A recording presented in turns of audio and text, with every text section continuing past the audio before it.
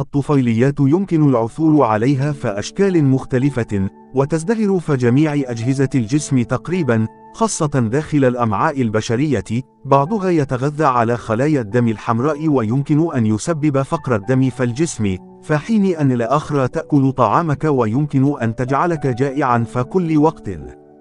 وأوضحت آخر إحصائيات لمنظمة الصحة العالمية أن العدوى الطفيلية مشكلة شائعة تؤثر على أكثر من 3.5 مليار شخص حول العالم، فالطفيل هو كائن حي يعيش ويتغذى على كائنات أخرى فإنه يستخدم المواد الغذائية من الجسم والتي بدورها تسبب ضررا للكائن الحي بأكمله.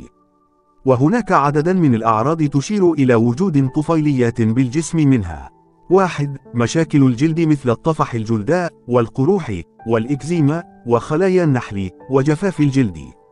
اثنان الحالة النفسية والقلق بما فذلك القلق والاكتئاب والنسيان والعصبية والأرق وتقلب المزاج الإنهاك اللامبالاة والتعب.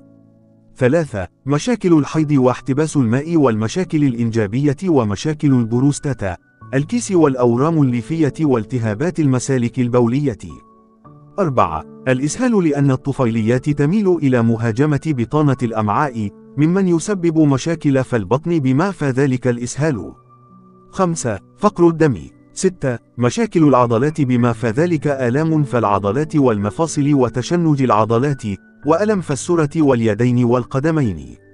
7. اضطرابات النوم. ثمانية مشاكل مع الوزن والشهية مثل فقدان الشهية أو زيادة الشهية والبدانة منذ فترة طويلة وعدم القدرة على فقدان أو اكتساب الوزن.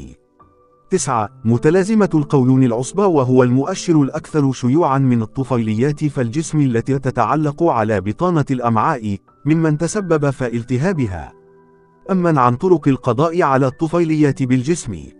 القضاء على السكر والمواد الغذائية المصنعة لأن الطفيليات تفضل السكر والمنتجات المشتقة من السكر، يساعد القضاء على هذه الأطعمة من النظام الغذائي الخاص بك على تجويع الطفيليات وفي نهاية المطاف تكون قادر على إزالتها.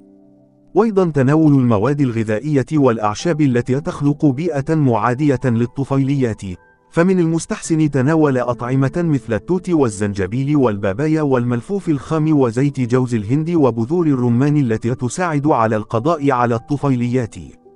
مع التأكد من وجود المزيد من الألياف فالنظام الغذاء الخاص بك، حيث تكون اللتى لديها القدرة على القضاء على الطفيليات من الجسم ومفيدة بشكل خاص في حالة الديدان.